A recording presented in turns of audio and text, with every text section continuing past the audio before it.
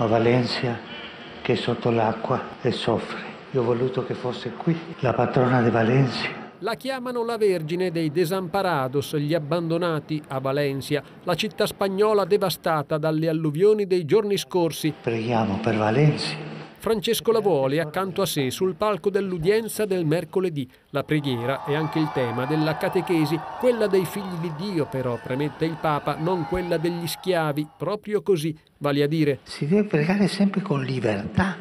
Oh, cioè devo pregare questo, questo, questo, questo, perché ho promesso questo, questo, questo, dal contrario andrò all'inferno.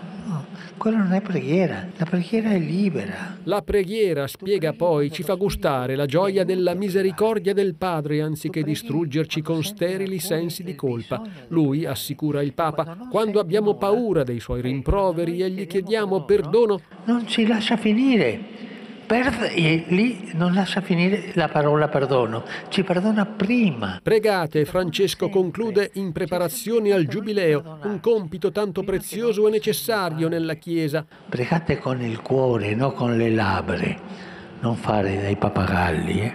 L'ultimo pensiero, oltre a Valencia, torna sempre alla guerra. E preghiamo per la pace